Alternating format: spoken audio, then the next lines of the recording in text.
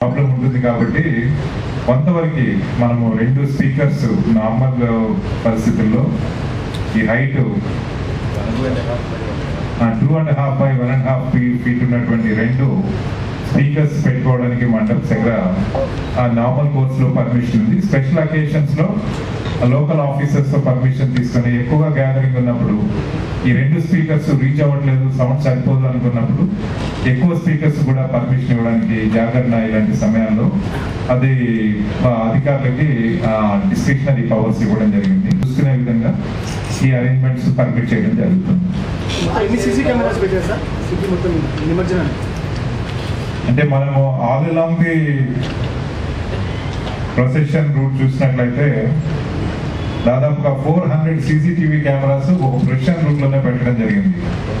ఇవి కాకుండా చాలా రూట్స్ మనము మెయిన్ ప్రొసెషన్ రూట్ ఏదైతే ఉందో బాలాపూర్ నుంచి మనకి హుసేన్ సాగర్ లేక్ వరకు కూడా మోర్ దెన్ కనెక్ట్ అవుతాయి. ఆ రోజు మీరు కూడా వచ్చి ఇక్కడ నుంచి చూస్తే ఇది ప్రజలకి కమ్యూనికేట్ చేయడానికి మనం ఎట్లా మానిటర్ చేస్తున్నాం అనేది మీరు దాన్ని ప్రజలకు తెలియజేయడానికి అవకాశం వెళ్తారు కదా టోటల్గా? ఇక్కడ పాసెస్ కావాలా మీకు? అవసరం లేదనుకుంటాను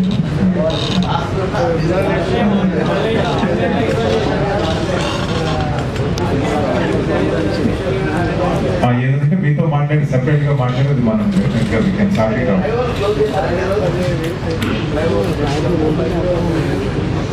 ఎక్కడైతే మనకి ట్రాఫిక్ పాయింట్ ఆఫ్ వ్యూలో రిక్వైర్మెంట్ ఉందో ఆ ఫ్లైఓవర్స్ కొన్ని క్లోజ్ చేస్తాం మనం. కొన్నిట్లో మాత్రం పర్మిట్ చేస్తాం.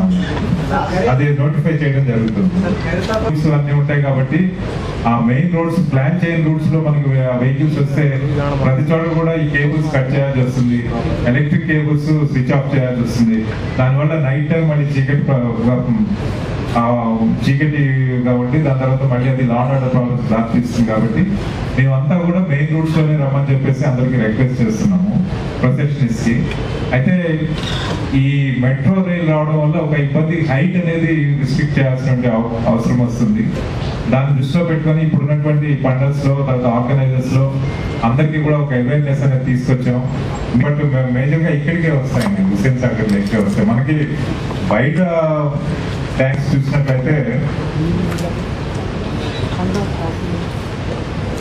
ఈ హస్మత్ పేట్ ట్యాంక్ సఫీల్ కూడా మల్కాగిరిలో ఉంది సరూర్ నగర్ ట్యాంకు షేక్పేట్ ట్యాంక్ తర్వాత ఈ మీరాలం ట్యాంక్ ఉంది బట్ వెరీ మైనర్ నెంబర్ వస్తుందని మేము అనుకుంటున్నాం బట్ దానికి అరేంజ్మెంట్ చేస్తున్నాం.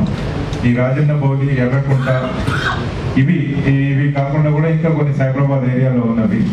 ఇప్పుడు వీటన్నిటికీ కూడా ఇంటిగ్రేటెడ్గా హైదరాబాద్ సైబరాబాద్ పోలీస్ అధికారులు కూడా మీటింగ్స్ జాయింట్ మీటింగ్స్ పెట్టుకోవడం జరిగింది. ఈ బార్డర్ మీటింగ్స్ కూడా చేశామన్నట్టు zones. Each zone border zones తోటి కూడా మీటింగ్స్ చేయడం జరిగింది. So that perfect coordination communication ఉండేట్టుగా తర్వాత కామన్ వాట్సాప్ గ్రూప్స్ కూడా అందరికి కూడా క్రియేట్ చేయడం జరిగింది అన్నట్టు. ఎనీ ఇన్ఫర్మేషన్ ఉన్నా ఇమీడియట్గా మనం ఇంటర్నల్ కమ్యూనికేషన్ చేసుకోవడానికి పాస్ చేయడం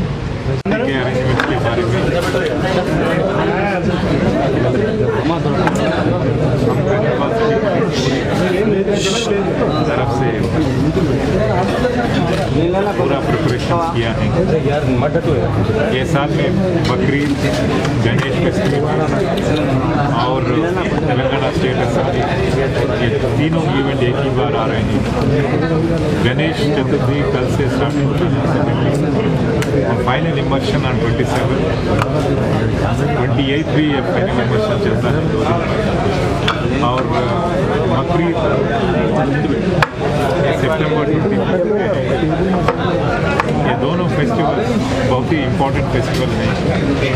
हैदराबाद में अमन और शांति रखने के लिए और ये फेस्टिवल ये पीसफुल एनवायरनमेंट में चलाने के लिए, मनाने के लिए, ये हैदराबाद सिटी पुलिस की तरफ़ से पूरा विंग्स जो लॉ एंड ऑर्डर विंग है police station security wing traffic branch intelligence special branch और क्राइम ब्रांच ये पूरा अधिकारियों ये उनके लिए पिछले दो हफ़्ते से प्रिपरेशन स्टार्ट किया है और ये प्री इंस्टॉलेशन फ़ेज़ और प्री इमर्शन फ़ेज़ और फाइनली ऑन इमर्शन डे जो भी अरेंजमेंट्स की ज़रूरत है, हम पूरा प्लान किया है।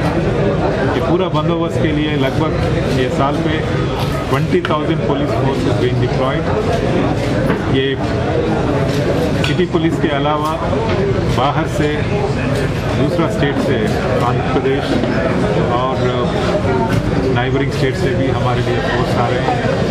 ऐसे ही सेंट्रल गवर्नमेंट से भी पैरामिलिट्री फोर्सेस की उपस्थित हैं इस ये टाइम पे ये पूरा फोर्सेस का इस्तेमाल करके हम पूरा एरिया को सैनिटाइज करना, पूरा गणेश मंडप के साथ सिक्योरिटी रखना और पूरा प्रोसेशन रूट पे लॉ एंड ऑर्डर मेंटेन करने के लिए ये बंदोबस्त का अरेंजमेंट्स किया है। और जो जहाँ इमर्शन चलता है, इस लेक हुसैन सागर लेक में 50 क्रेन्स स्टैटिक क्रेन्स रखा गया। और डिविजन्स में भी ये क्रेन्स की इस्तेमाल कर रहे हैं। ये पूरा क्रेन्स एरिया में और इमर्शन के प्लेस में भी इरिगेशन डिपार्टमेंट्स के साथ कोऑर्डिनेट करके तीन शिफ्ट में काम करने के लिए उनका डिप्लॉयमेंट कर हैं और 30 anti sabotage check teams 30 dog squads और लगभग 120 patrol cars patrol mobiles in the area और ये बीस हज़ार लोग दिन और रात भर काम करते हैं हमारे पुलिस कम्युनिटी के साथ पूरा कम्युनिटी का इन्वॉल्वमेंट से ये दोनों फेस्टिवल अमन और शांति के साथ मनाने के लिए अच्छी तरह अरेंजमेंट किया सर कितने सी सी सीसीटीवी जो अरेंज किए हैं सर? ये दिस ईयर का स्पेशल है। पूरा मेन प्रोसेशन रूट में लगभग 400 सीसीटीवी कैमरास बालापुर से हुसैन सागर लेक तक और 400 सीसीटीवी कैमरास अरेंज करके पूरा कमांड कंट्रोल को कनेक्ट किया है। उस दिन कमांड कंट्रोल से पूरा प्रोसेशन को हम मॉनिटर कर सकते हैं और, मीडिया भी हम इन्वाइट कर रहे हैं उस दिन आके पब्लिक को दिखाने के लिए पूरा कोऑर्डिनेशन एक्टिविटी और बकरीद के बारे में क्या है सर? ये बकरीद के बारे में, ये टाइम पे ट्वेंटी फिफ्थ में पे बकरीद में ये पूरा ईद का जहाँ भी ये प्रेस होता है, पूरा मास्क और ईद का जहाँ भी होता है, पूरा एरियाज़ में हम बंदोबस्त प्लान ड्रॉ किया है। और बकरीद के पहले भी जो भी ये कैटल ट्रांसपोर्टेशन के लिए, जो भी प्रोटेक्शन है हम पूरा प्रिकॉशंस ले रहे हैं। हम कम्युनिटी के साथ वर्क करके पूरा कम्युनिटीज़ को ऐसे भरोसा दे रहे हैं हमारे एनफोर्समेंट पुलिस के साथ होता है। कोई आदमी सिविलियन आदमी इसमें इंटरफेयर ना करना और ये पूरा दो फेस्टिवल अमन और शांति से मनाने के लिए कम्युनिटी का सपोर्ट से ही हम आगे बढ़ेंगे और रूट्स कुछ ऐसा बालापुर से लेके यहाँ क्या कुछ टाइमिंग अरेंज करेगा सर उसकी? टाइमिंग हाँ सर। हर हर साल में जैसे हो रहा है ये साल में भी ऐसे होता है। टाइमिंग्स टाइमिंग्स की हम प्रिस्क्राइब नहीं कर रहे हैं। लेकिन जब भी आए तो भी वो कुछ गड़बड़ ना होना एरिया में पीसफुल रहना है और कम्युनिटी को हमारे साथ लेके पूरा आइडल्स का इमर्शन करा देंगे सेशन स्टार्ट हो रहा है। इसके लिए भी अलग बंदोबस्त का अरेंजमेंट किया है। अलग फोर्स भी आ रहे हैं।